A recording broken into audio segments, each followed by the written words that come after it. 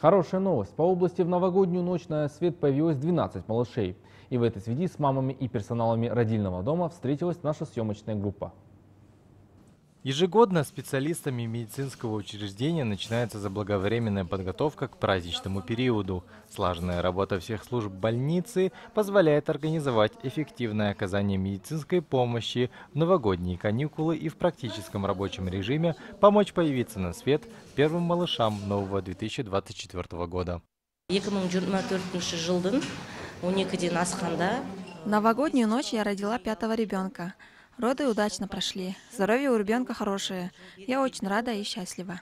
Стоит отметить, что основная часть рожениц предпочитают естественные роды, а некоторые по причинам здоровья прибегают к методу кесарево сечения. Сегодня ситуация у всех стабильная, и они находятся под наблюдением врачей.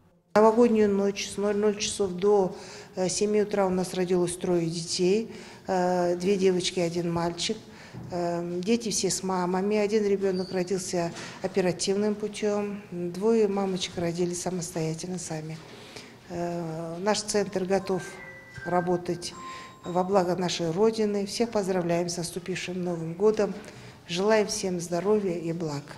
Для мам эта новогодняя ночь стала двойным праздником. Они отмечают, что этот праздник у них навсегда останется в памяти как самый трепетный Новый год. Мадияр салыков гүлзат сейдуллақызы айқын ақпарат.